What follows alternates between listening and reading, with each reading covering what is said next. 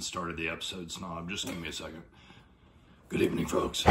We're going to have a short little wrap up, third episode tonight of the Bob and Snob Show.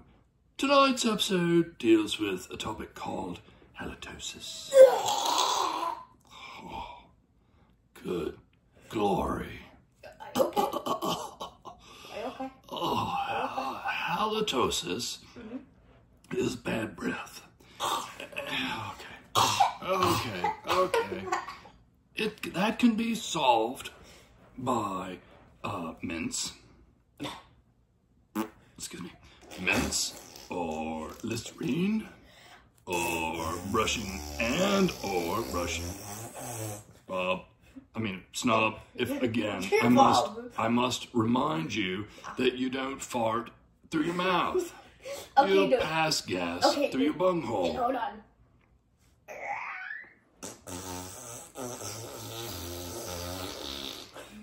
He's special, folks. So, um, anyway, yes, halitosis. The definition of halitosis is bad breath. Snob has bad breath. Oh.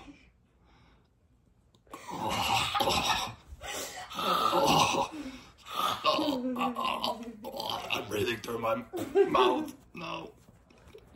Anyway, brush your teeth. Use Tic Tacs.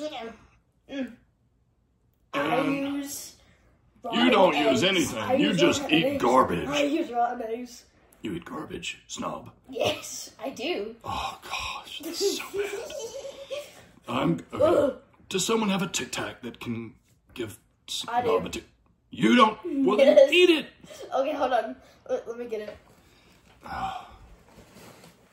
Okay, I have my Tic Tac. That's a little too big for you to swallow. Okay. All right. So anyway, that's uh, uh that's that.